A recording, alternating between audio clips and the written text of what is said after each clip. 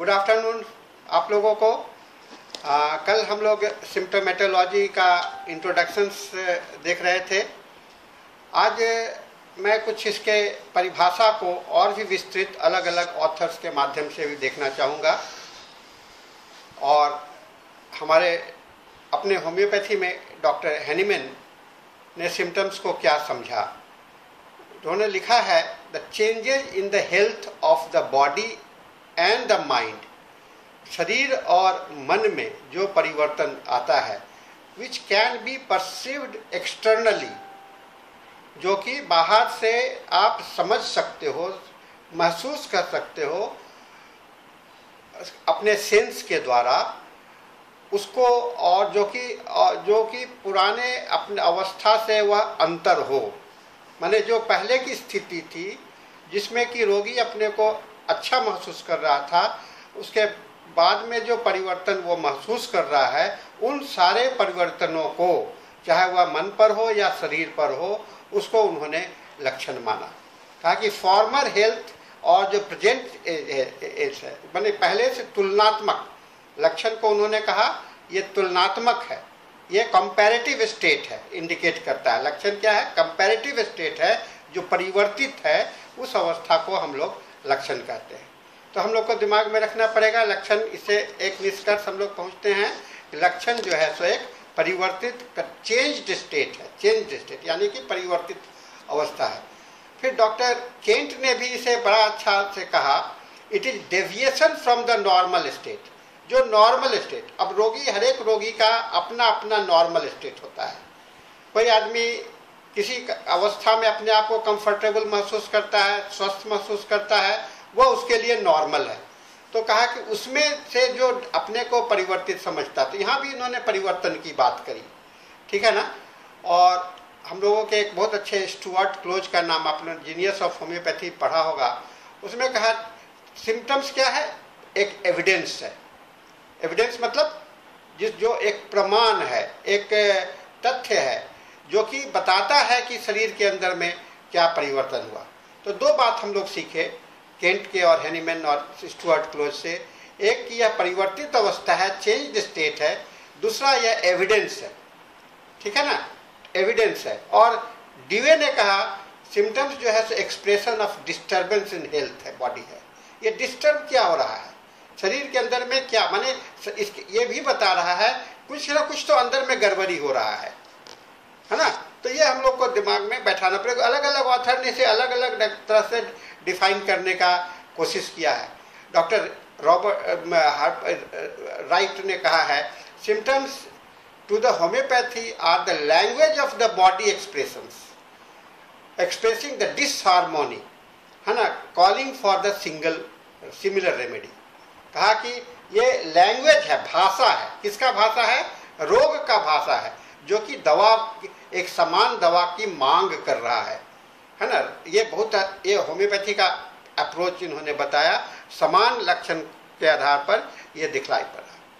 लेकिन जब आप डिक्शनरी में जाइएगा तो वहाँ पर सीधा सा अर्थ है, कोई भी चेंज जो कि आप समझ परसेप्टेबल परसेप्टेबल का मतलब होता है जिसे आप महसूस कर सकते हैं। तो आज की दुनिया में हम लोग खाली शरीर से नहीं महसूस करते हैं हम लोग टेक्नोलॉजी के माध्यम से भी महसूस करते हैं। हम लोग टेक्नोलॉजी मतलब कि माइक्रोस्कोप है लेबोरेटरी इन्वेस्टिगेशंस है पैथोलॉजिकल इन्वेस्टिगेशंस है उसके आधार पर भी हम लोग परिवर्तन को देखते हैं। तो इन सब परिवर्तनों को आ, का एक आ, जो आप देख सकते हो जो कि शरीर पर है और फ़ंक्शन में है। मैंने शरीर और उसके कार्य प्रणाली में सब्जेक्टिव या ऑब्जेक्टिव फॉर्म में देखते हो उसको हम लोग सिम्टम्स के नाम से जान सकते हैं। जब आप सिम्टम्स को इस तरह से इस डायमेंशंस को आप देख रहे हो या परिवर्तन का है या एक स्टेट है एक चेंज को इंडिकेट कर रहा है एक आ, ये ये स्टेट ऑफ़ द हेल्थ को एक्सप्लेन कर रहा है डिस्टर्बेंस को एक्सप्लेन कर रहा है तो ये सारे चीज़ बॉडी लैंग्वेज को एक्सप्रेस कर रहा है, बीमार की अवस्था को दवा की मांग कर रहा है, इन सब बातों को देखने से हम लोग सिम्टम्स के और भी विस्तृत डायमेंशंस में समझ में आता है। इसलिए मैं आपको पिछले पिछले क्लास में भी मैंने बताया था कि सिम्टम्स और कष्ट को हम लोग थोड़ा मिक्सअप ना करें, क्योंकि सिम्टम्स जो है तो वो एक कोई ना कोई उसके अंदर में संबंध रोग के साथ में दिखलाई पड़ना चाहिए। कष्ट से संबंध का जानकारी नहीं होता है। ये सिम्टम्स को हम लोग जो समझने का प्रयास करते हैं, इसके लिए तीन भाषा का हम लोग इस्तेमाल करते हैं। एक कहते हैं साइन साइन का मतलब क्या होता है? ये एक, जो कि दिखलाई पड़ता है। फिजिक फिजिशियंस को या अटेंडेंट को जो दिखलाई पड़ता है, ये ऑब्जेक्टिव है। यानी कि दूसरे लोग, हो सकता है कि साइन को रोगी अपने आप महसूस न कर रहा हो, लेकिन दूसरे लोग भी उसको देखते हैं। यानी कि खुद रोगी नहीं महसूस कर रहा है, दूसरे लोग भी देख रहा है तो उसको हम लोग साइन के कैटेगरी में रखते हैं। साइन मतलब कि उसका एक, जैसे साइन बोर्ड हुआ करता है ना तो उसी तरह से ये साइन जो होते हैं तो साइन बोर्ड होता है। माने कि रोगी के ऊपर में कोई दाग है, अगर कोई ऐसे जगह पर दाग है जिसको कि वह देख नहीं पा रहा है तो उसको क्या कहेंगे? वो साइन है वो ऑब्जेक्टिव सिम्टम्स है। तो ये एक तरह है। दूसरा कि एक है आ, हम लोग इसके में साइन सिम्टम्स को तो पेशेंट अपने आप महसूस करता है। और तीसरा सब शब्द होता है सिंड्रोम सिंड्रोम ये एक ऐसा ग्रुप ऑफ़ सिम्टम्स है जिससे कि हम लोग एक कष्ट को और रोग होने के कारण के को समझने का प्रयास करते हैं। यानी कि कोई इसका निश्चित डेफिनेशन नहीं हो पाया है। उसको हम लोग सिंड्रोम कहते हैं, जो सजेस्ट करता है। ये सजेस्ट करता है, जैसे एचआईवी ये भी सिंड्रोम है। अब हम लोग पहले सिंड्रोम था, अब हम लोग जान गए हैं कि एक वायरस के कारण होता है। कोरोना, हम लोग अब जान गए हैं कि वायरस के कारण है। लेकिन जब तक नहीं जाने थे, तब तक हम लोग इसको अलग अलग ढंग से हम लोग इसको, इसकी व्याख्या कर रहे थे। ठीक है ना? तो एक है कि नॉन सिम्टम्स और unknown symptoms known symptoms known symptoms उसको कहेंगे कहेंगे जो कि जिसके कारण को भी आप जान रहे हो, क्यों हो रहा है, ये भी जान रहे हो, और कुछ है कारण नहीं जान रहे हो तो कारण और उसके रिफ्लेक्शंस में कोई तालमेल नहीं बैठा पा रहे हो, उसको हम लोग सिंड्रोम के नाम से जानते हैं। तो हम लोग तीन शब्द को हम लोगों ने आज देखा साइन सिम्टम्स एंड सिंड्रोम तो छात्रों, ये बड़ा, आप लोग का स्पष्ट होने का बहुत ही ज़रूरी है। अब हम लोग आते हैं इसको क्लासिफिकेशंस के की ओर में। क्लासिफिकेशंस और मैं इसका चरणबद्ध करूँगा। डॉक्टर हैनीमैन ने इसे कैसे क्लासिफाई किया? हैनीमैन ने एफआई नंबर 153 में कहा कैरेक्टरिस्टिक सिम्टम्स की बात करी है। कैरेक्टरिस्टिक सिम्टम्स का मतलब उन्होंने कहा कि वैसा लक्षण जो कि चरित्र को इंडिकेट करे। है ना, ये हेनीमैन का क्लासिफिकेशन है। आपको एफ़ नंबर 153 में।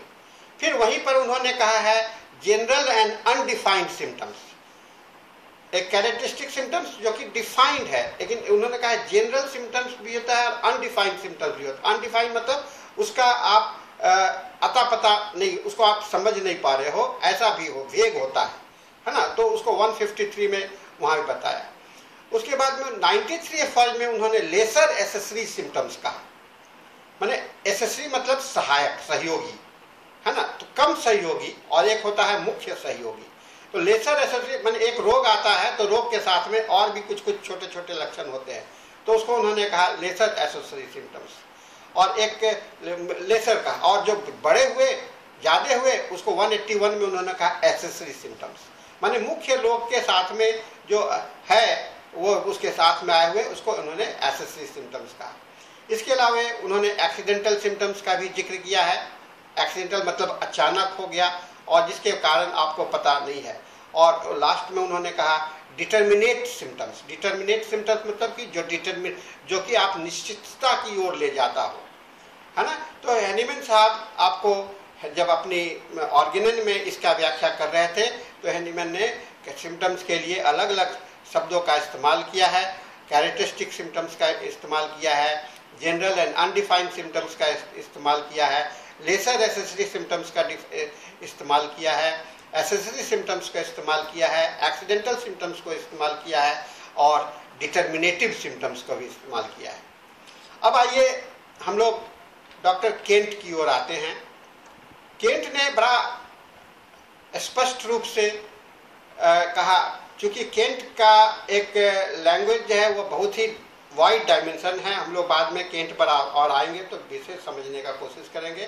कहा कि मनुष्य के जनरल लेवल पर मनुष्य के जनरल लेवल पर तो उसको जनरल सिम्टम्स कहा और उसके अंग पर उसको उन्होंने पर्टिकुलर सिम्टम्स कहा और कुछ कॉमन सिम्टम्स कहा जो कि रोग के साथ में आते ही हैं और वो उसके कभी वो अनडिफाइंड होते हैं। और कॉमन सिम्टम्स डॉक्टर केंट के मुताबिक बहुत सारे उसके को एलिमेंट जो होते हैं, माने उसके जो उसके लोकेशन सेंसेशन मॉडलिटीज के मामले में वह कंप्लीट नहीं होते हैं।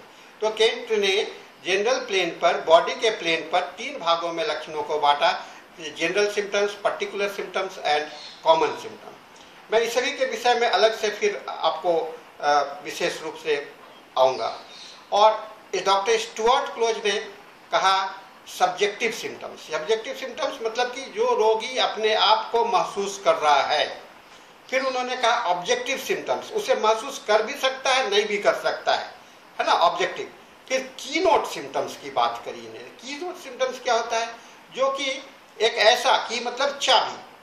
की का मतलब होता है? चाबी। ऐसा लक्षण जिसके माध्यम से आप बहुत सारी बातों को जान सके, है ना? बहुत सारी बातों को जान सके। एक लक्षण के माध्यम से आप बहुत, जो कई एक लक्षणों के विषय में हिंट्स दे दे, आपको इशारा कर दे, उसको हम लोग की नोट सिम्टम्स कहते हैं।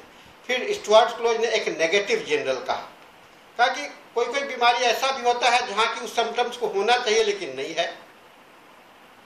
है ना? होना चाहिए लेकिन नहीं है। जैसे आपका टेम्परेचर जब फीवर बढ़ता है तो फीवर बढ़ता है तो थर्मामीटर में आपके टेम्परेचर दिखलाई पड़ते हैं। लेकिन बॉडी जो है तो पूरा बॉडी ठंडा है। जहाँ गर्म होना चाहिए, वहाँ बॉडी ठंडा है। तो ये ठंडा बॉडी जो हो गया, सो आपको नेगेटिव जनरल है। यानी कि जहाँ पर जो बातें होनी चाहिए, वह नहीं हो रहा है, उसको उन्होंने नेगेटिव जनरल के रूप में रखा। तो ये डॉक्टर स्टुअर्ट क्लोज का डिफिनेशन हो गया। फिर डॉक्टर रॉबर्ट ने भी इसे अलग अलग ढंग से कहा है चीफ कंप्लेंट्स यानी कि जो मुख्य है, जिसके लिए रोगी लेकर के आपके पास में आता है। जिसके लिए रोगी कष्ट लेकर के आपके पास में आता है, उसको हम लोग चीफ से कंप्लेंट कंप्लेंट कहते हैं, या लीडिंग सिम्टम्स कहते हैं। है ना? सांस फूलने के लिए आ रहा है। लेकिन जब आया तो उसके साथ में जब आपने पूछताछ किया तो और भी बातें मालूम हुआ। तो उसको उन्होंने कहा ऑक्सिलरी सिम्टम्स कहा। और एक सिम्टम्स होता है, इस चीफ सिम्टम्स के साथ साथ जुड़ा हुआ होता है। तो यहीं पर डॉक्टर रॉबर्ट ने इसे कॉन्कॉमिटेंट सिम्टम्स भी कहा। फिर डॉक्टर रॉबर्ट ने सब्जेक्टिव सिम्टम्स को फिर से अपने में जोड़ा है और डायग्नोस्टिक सिम्टम्स उन्होंने कहा। वैसा लक्षण जो कि डायग्नोज किया जा सकता है, जिसके माध्यम से आप रोग को डायग्नोज कर सकते हैं, माने कि रोग का निदान कर सकते हैं, रोग को जान सकते हैं, उसको डायग्नोस्टिक सिम्टम्स कहते हैं। और फिर उन्होंने कहा, रॉबर्ट ने सिम्टम्स ऑफ़ लोकेशन, स्थानीय। कोई लक्षण स्थानीय हो तो वहीं पर होगा ही दूसरे जगह पर नहीं होगा, है ना? जैसे गाउट है। गाउट कहाँ होगा? तो हमेशा जोड़ में होता है है ना? तो हम लोग गाउट उसका संज्ञा दे दिए तो उसको कहा सिम्टम्स ऑफ़ लोकेशन। एक होता है कॉन्ट्रेडिक्ट्री सिम्टम्स यानी कॉन्ट्रेडिक्टरी मतलब विरोधाभास। दोनों का तालमेल नहीं है। तालमेल नहीं है उसको कहते हैं कॉन्ट्रेडिक्टरी सिम्टम्स कैसे? कॉन्ट्रेडिक्टरी का मतलब जिसको विरोध करने वाला हो है ना? प्यास गर्मी बहुत लग रही है। हुँ? हम्म, प्यास नहीं लग रही है। गर्मी बहुत लग रही है लेकिन प्यास नहीं लग रही है। गर्मी लग रही है तो प्यास भी बढ़नी चाहिए ना पानी शरीर से सूख रहा है तो पानी भी लग रही तो ये कॉन्ट्रेडिक्टरी हो गया। फिर उन्होंने कहा अल्टरनेटिंग सिम्टम्स एक के बाद दूसरा एक के बाद में दूसरा। अल्टरनेटिंग कॉन्स्टिपेशन आज है, कल को डायरिया हो गया। डायरिया हो गया और उसके बाद में कॉन्स्टिपेशन हो गया। तो कहा कि ये दो लक्षण नहीं है, ये एक लक्षण है। उन्होंने कहा, ये दो लक्षण नहीं है, ये अल्टरनेटिंग स्टेट है। है ना? रोग का अल्टरनेटिव अल्टरनेटिंग स्टेट है। तो ये डॉक्टर रॉबर्ट का बड़ा अच्छा उन्होंने आपके सामने में लक्षणों का क्लासीफाई किया है। Doctor Garth Boericke doctor Garth Boericke भी आपको सिम्टम्स का बोरिक, जिसका कि बोरिक के मेट्रिया आप लोग देखते हैं ना, उसमें उन्होंने बेसिक एंड डिटर्मिनेटिव सिम्टम्स कहा। डिटर्मिनेटिव मतलब कि जो कि डिटर्म जिससे कि आप निश्चित रूप से दवा के पास में पहुँच सकते हैं। है ना? और दूसरा उन्होंने कहा क्लिनिकल सिम्टम्स क्लिनिकल सिम्टम्स जो कि क्लिनिक में ऑब्ज़र्व किया कर रहे हैं आप। है ना? रोगी उसको हो सकता है कि नहीं बताए, लेकिन वह क्लिनिक में आप ऑब्ज़र्व कर सकते हैं। और उन्होंने एक और शब्द कहा क्यूरेटिव सिम्टम्स क्यूरेटिव सिम्टम्स मतलब जो ठीक हो सकता है। कुछ सिम्टम्स ठीक हो सकते हैं, कुछ सिम्टम्स नहीं ठीक हो सकते हैं। है ना? तो वह क्लिनिकल स्टेट है। जैसे कि आपके कॉन्स्टिपेशन है। तो कॉन्स्टिपेशन को आप ठीक नहीं कर सकते हो। क्यों? क्योंकि वह मेंटेनिंग फैक्टर से है। तो वह उसको उन्होंने कहा कि ये क्लिनिकल सिम्टम्स है जो कि आता जाता रहता है, आता जाता रहता है। ये क्यूरेटिव नहीं होता है। है ना? तो इस तरह से बहुत सारे लक्षण होते हैं जो कि क्योर हो सकते हैं, जो कि लक्षण नहीं क्योर हो सकते हैं। अब आ जाइए हम लोग एलिजेबेथ राइट हबर्ट का क्लासिफिकेशन पर। इन्होंने कहा कॉमन सिम्टम्स कॉमन सिम्टम्स कहने का मतलब? कॉमन सिम्टम्स मतलब कि, जो कि, जिससे कि आप ज़्यादा परेशान नहीं होते हो, होता है और आता है। जैसे सर्दी है तो नाक से पानी आ ही रहा है, खांसी हो रही है बुखार है तो रेस्टलेसनेस है। ये बुखार में रेस्टलेसनेस कॉमन हो गया। लेकिन अगर रेस्टलेस नहीं है तो वह अनकॉमन हो जाता है। फिर इन्होंने मेंटल सिम्टम्स की बात करी। एलिजाबेथ राइट ने मेंटल सिम्टम्स की बात करी। मेंटल सिम्टम्स वैसा लक्षण है जो कि रोगी अपने मन में जो महसूस करता है, उसको मेंटल सिम्टम्स कहा। फिर जनरल सिम्टम्स की बात करी, यानी कि शरीर पर विस्तार रूप से देखता है। ऑब्जेक्टिव सिम्टम्स को हम लोगों ने चर्चा किया एलिजाबेथ राइट ने भी इसको दोहराया है, और आता है पैथोलॉजिकल जनरल्स है ना? पैथोलॉजिकल जनरल्स पैथोलॉजिकल जनरल कहने का मतलब होता है जो लक्षण प्रिसिपिटेट कर गया हो, यानी कि उसका एक पैथोलॉ एक, वो फाइनल डिज़ीज़ के फॉर्म में चला आ रहा है, वो स्थायी हो गया है, परिवर्तित हो गया। उसको उन्होंने कहा पैथोलॉजिकल सिम्टम्स और फिर उन्होंने पर्टिकुलर सिम्टम्स की बात करी पर्टिकुलर सिम्टम्स का मतलब होता है वैसा लक्षण जो कि एक पर्टिकुलर स्थान पर हो है ना? एक विशेष स्थान पर हो विशेष सिचुएशंस में हो उसको उन्होंने पर्टिकुलर सिम्टम्स कहा। और इन्होंने एक और सिम्टम्स का ज़िक्र किया है जिसको कि एलिमिनेटिव सिम्टम्स यानी कि एक लक्षण या दो लक्षण ऐसे होते हैं जो कि सारे चीज़ को हटा दे, दे सकते हैं। और उनको इनको लेने के बाद में आप अन्य लक्षणों को लेने की आवश्यकता नहीं पड़ेगी। ठीक है ना? इनको लेने के बाद में लक्षणों को लेने की दूसरे लक्षणों को लेने की आवश्यकता नहीं पड़ेगी। ये इस लक्षण में जो लक्षण जो बातें समाहित है वह पेशेंट पर लागू होता है और जो समाहित नहीं है वह पेशेंट पर लागू नहीं होता है। ठीक है ना? तो ये आपका आ, बहुत इंपॉर्टेंट बात है। अब कॉमन सिम्टम्स को डॉक्टर हेनीमैन ने कहा। कॉमन सिम्टम्स भी होते हैं दो तरह के होंगे पैथोजेनेटिक पैथोजेनेटिक पैथोजेनिक और पैथोजेनेटिक पैथोजेनेटिक का मतलब पैथोजेनिक का मतलब होता है symptoms that are common to a medicine एक दवा को, कई एक दवा में पाया जाएगा, है ना? कॉमन टू ए हेडेक है तो कई एक दवा में है, इसको पैथोजेनिक सिम्टम्स कहते हैं. They form the bulk of the drug's pathogenesis कई एक दवा, है ना? आप रिपोर्टरी में जाइएगा तो एक एक लक्षण के में 50 50 सौ सौ दवाइयाँ ज़िक्र किया हुआ है। तो ये पैथोजेनिक सिम्टम्स हो गया। They form the bulk of the drug's pathogenesis और ये दवा को चुनने में आपको कोई मदद नहीं करता है। दवा को आइसोलेट करने में आपको कोई मदद नहीं करता है। और लेकिन ये इंपॉर्टेंट इसलिए होता है कि बॉडी के हार्मोनी को आपको ये इंडिकेट करता है। ठीक है ना? तो ये पैथोजेनिक पैथोजेनेटिक कहते हैं ये common to the disease state होता है। माने कि पैथोजेनेटिक डिज़ीज़ स्टेट में ही वह खाली पाया जाएगा। ठीक है ना? तो उसको इसको कहते हैं? और इसका रिलेशन जो होता है जो रिलेटेड डिज़ीज़ में ही पाया जाता है। और ये हम लोगों को रोग को डिफ्रेंशिएट करने में मदद करता है। रोग को डिफ्रेंशिएट करने में मदद करता है। तो ये हम लोग के लिए एक इंपॉर्टेंट मैं ओवर आउटलाइन आपको मैं बता रहा हूँ। इसकी जानकारी दे रहा हूँ।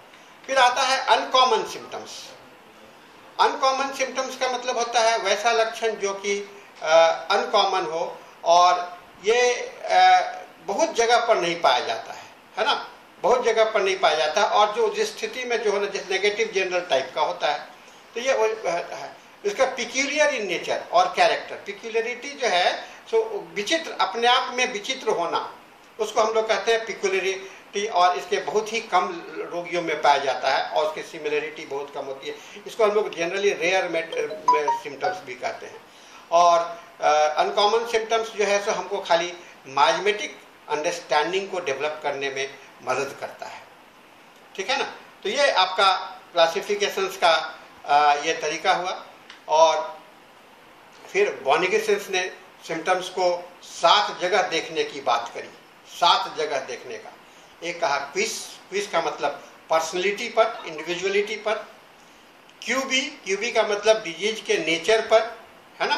डिज़ीज़ के नेचर पर प्रॉब्लम पर यूबी यूबी का मतलब हुआ सीट ऑफ़ द डिज़ीज़ पर, रोग कहाँ पर है उसके आधार पर, क्यूबस ऑक्जिलस, इसको कहा एसोसिएटेड सिम्टम्स एसोसिएटेड सिम्टम्स माने उसके साथ साथ आने वाला क्योर जो कर सी आर कर, इसको कहा कॉज ऑफ़ द डिज़ीज़ यानी कि रोग के कारण को, और छठा कहा उन्होंने, कुमैडो। कुमैडो मतलब मॉडिफाइंग फैक्टर मॉडलिटी जो जनरल मॉडलिटीज है, उसको उन्होंने कुमैडो कहा और उन्होंने फिर अंत में कहा कुनैंडो। कुनैंडो का मतलब होता है टाइम मॉडलिटी तो ये उन्होंने सेवन एरिया बनाया, बताया, जो कि लक्षण को कैरेक्टरिस्टिक्स कह सकते हैं और इस सातों अगर प्रेजेंट हो गया तो उसको हम लोग पिक्यूलियर भी बोल सकते हैं अनकॉमन भी बोल सकते हैं। ठीक है ना? तो ये बात बॉनिफिशंस के आधार पर है। और केंट ने जो क्लासिफिकेशंस किया है, उसमें हम लोगों ने देखा, केंट का जो पूरा रिपोर्टरी है, वह मेंटल जनरल और फ़िज़िकल जनरल और पर्टिकुलर तीन भाग में बटा हुआ है। है ना? मेंटल जनरल फ़िज़िकल जनरल और पर्टिकुलर जनरल में। यानी कि मेंटल जनरल मानसिक जनरल फ़िज़िकल जनरल शरीर पर पाया जाने वाला और पर्टिकुलर सिम्टम्स किसी खास शरीर पर पाए जाने वाले लक्षण को उन्होंने पर्टिकुलर सिम्टम्स कहा। तो इस तरह से हम लोगों ने सिम्टम्स का जो क्लासिफिकेशंस किया है, वह काफ़ी जो महत्व, महत्वपूर्ण है। और इस सिम्टमेटोलॉजी के परिप्रेक्ष्य में काफ़ी काम होता रहा है और इस विस्तार को हम लोग देखेंगे और अगले क्लास में हम लोग यह भी देखेंगे, देखने का कोशिश करेंगे, ये लक्षण जो है, सो अलग अलग कैसे, किसका क्या इम्पोर्टेंस है है ना? किसका क्या इम्पोर्टेंस है? मैं इस क्रम में आपको डॉक्टर बोगर का पैथोलॉजिकल जनरल की बात करना चाहूँगा। डॉक्टर बोगर ने पैथोलॉजिकल जनरल की बात कही। पैथोलॉजिकल जनरल का मतलब क्या होता है? वैसा पैथोलॉजी को जनरलाइज हो गया। है ना? पूरे शरीर से जिसका संबंध हो गया उस तरह को, को पैथोलॉजी को पैथोलॉजिकल जनरल कहा। और जो खास अंग में हुआ उसको उन्होंने पैथोलॉजिकल पर्टिकुलर शब्द का किसी ने भी नहीं इस्तेमाल किया है। लेकिन हम लोग ऐसा मान सकते हैं कि वह पैथोलॉजिकल पर्टिकुलर है। तो पैथोलॉजिकल जनरल ये डॉक्टर बोरगर का बहुत बड़ा महत्व है, जिन्होंने जिन्होंने जिन्होंने इस पैथोलॉजी का इंक्लूजन रिपोर्टरी में किया। बॉनिगेसेंस ने पैथोलॉजी का इंक्लूजन रिपोर्टरी में नहीं किया था, लेकिन बॉनिगेसेंस बोगर ने इसको पैथोलॉजी का इंक्लूजन किया। और बोगर का एक और कंट्रीब्यूशन बहुत अच्छा है, जिसको की कहते हैं फीवर टोटैलिटी है ना फीवर टोटैलिटी का मतलब लक्षण बुखार के समय में, ज्वर के समय में लक्षणों की टोटैलिटी अलग होती है। और उस समय में खास बातें होती है, क्योंकि फीवर एक टाइप ऑफ़ इन्फ्लेमेटरी स्टेट्स है। तो उन्होंने फीवर टोटैलिटी की बात करी और वह एक महत्वपूर्ण स्टेट्स बना, जो कि आपका डिज़ीज़ को क्लासीफाई करने के लिए काम में आता है। ठीक है ना? तो इस तरह से हम लोग जब देखेंगे तो आपके लक्षणों का जो और अलग अलग सिचुएशंस में इसे देखने का प्रयास कीजिएगा। तो यह आपको अलग अलग विस्तार से इसका जानकारी होता चला जाएगा। ठीक है ना?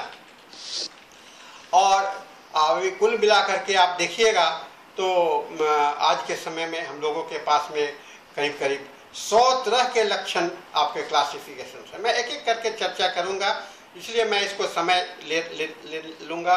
और अलग कई एक सीरीज़ में इस लेक्चर को कंप्लीट करने का कोशिश करूँगा, जिससे कि आप, क्योंकि लक्षण ही आपका आधार है बेस है। और इसको अगर आप समझ गए तो आपके लिए दवा का चुनाव करना बहुत बड़ा कठिन काम नहीं होगा।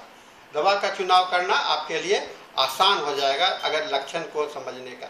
इसलिए यह एक, यह हमारा एनाटॉमी है, हमारा फिजियोलॉजी है होम्योपैथी का लक्षण ही, क्योंकि इसी के माध्यम से हम लोग रोगी के पास में पहुँचते हैं। और रोगी की जानकारी हम लोगों को मिलती है।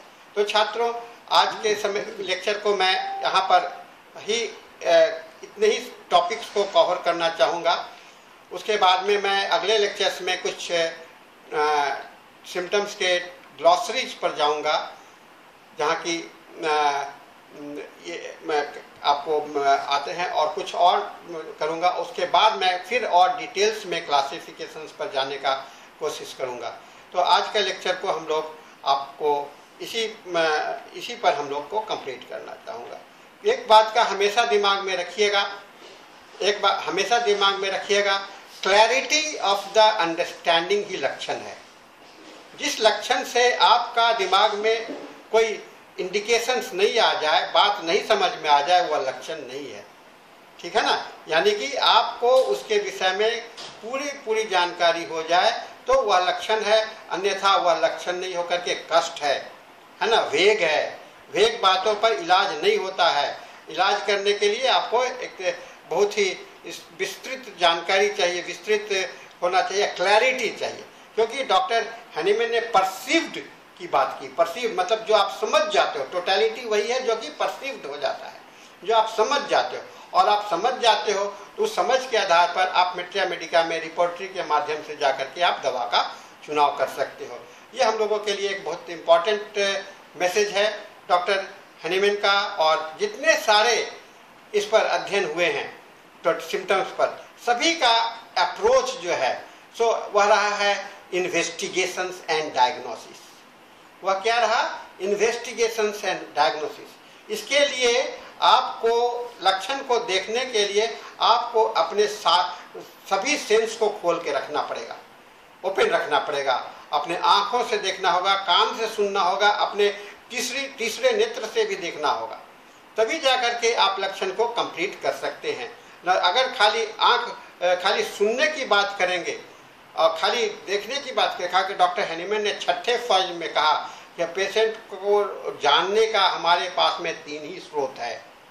सिक्स फ़र्ज़ में उन्होंने कहा, तीन ही स्रोत है। एक, जो पेशेंट स्वयं बताता है, जो अपने अंतरात्मा की बात करता है, वह लक्षण बहुत सबसे प्राइमरी है। उसके बाद में ऑब्जर्वेशन ऑफ़ द फिजिशियन जो रोगी आप खुद देखते हो। और तीसरा उन्होंने कहा अटेंडेंट्स आस पास के बहुत सा चीज़ है, आपके क्लिनिक में बैठा है, तभी आप रोगी को देख रहे हो। लेकिन बहुत सारा लक्षण ऐसा है जो कि आपके आपके रोगी के साथ में रहने वाले, उसके अभिभावक हैं, उसके साथ साथ साथी हैं, वो लोग उसको ऑब्ज़र्व करते हैं। तो ये तीनों का जो जो स्वरूप बनता है, तीनों मिल करके जो बात बनेगा, वह क्लैरिटी लाएगा आपको, और यह कहा कि इसलिए कोई कहा कि तीसरे के अलावा कोई तीसरा सोर्स चौथा सोर्स नहीं है रोगी को पहचानने का। और कहा कि symptoms are the unfailing guide to the for the selection of the medicine दवा को चुनाव करने के लिए लक्षण ही एक ऐसा आधार है जिसके माध्यम से आप दवा का दवा, आप रोगी को पहचान सकते हैं, रोगी का। यानी कि लक्षण एक ब्रिज का काम करता है, एक सेतु का काम करता है, जो कि रोगी और दवा के बीच में। और उस ब्रिज को बनाने वाले कौन होते हैं? आप फिजिशियंस हैं। तो आपकी समझ और आपकी समझ और आपकी समझ बहुत इंपॉर्टेंट है। ठीक है ना? आपकी बात बहुत महत्वपूर्ण है, क्योंकि आप दोनों तरफ़ देख रहे हो, रोगी की तरफ़ भी देख रहे हो और दवा का। और दवा का विशेष जानकारी तो आपको होता ही है। ठीक है ना? दवा का विशेष जानकारी तो आपको होता ही है है नहीं? और रोगी की जानकारी अननोन होता है। तो दवा एक नोन है और रोगी अननोन है। तो एक अननोन चीज़ का अननोन मतलब कि वह इसको आपने देखा नहीं है पहले, उसको समझने का कोशिश करते हो। और दवा तो आपने पढ़ा है तो दवा के पहले से पहले से परिचय है और रोगी से पहले से परिचय नहीं है। ठीक है ना? रोगी से जब पहले से परिचय नहीं है तो उसे परिचय करने का प्रयास करते हो, उसे इकट्ठा करने का कोशिश करते हो तो वह इकट्ठा उसके लिए आपको समय देते हो, केस टेकिंग करते हो और केस टेकिंग के माध्यम से जो कलेक्ट होता है, उस सिम्टम्स को आप फिर एक दवा का एक पोर्ट्रेट बनाते हो, एक तस्वीर बनाते हो और उस तस्वीर के आधार पर हम लोग रोगी के पास में जाते हैं और उस सॉरी मेट्रिया मेडिका में जाते हैं रिपोर्टरी के माध्यम से और हम लोग दवा का चुनाव करते हैं। तो ये प्रक्रिया में, सारी प्रक्रिया में जो सिम्टम्स का जो स्थान होता है साइन का स्थान होता है और सिंड्रोम का स्थान होता है। मैं सिंड्रोम की बात इसलिए कहता हूँ कि हम लोग के एक मनुष्य होने के नाते बहुत सारी क्षेत्र है जो कि कभी भी हम लोग नहीं जान पाते हैं। अपने लाइफ में सारी बातों को हम लोग नहीं जान पाते हैं। देखने के बाद में अगर जान पाते हैं तो समझ नहीं पाते हैं, ठीक है ना? और समझ पाते हैं तो हमारे पास में उपाय नहीं होता है। तो ये चीज़ को हम लोगों को दिमाग में रखना है और मैं आज का लेक्चर को इसी पर समाप्त करता हूँ और अगले लेक्चर्स में मैं फिर डिटेल्स और क्लासिफिकेशंस में चलूँगा। सो धन्यवाद।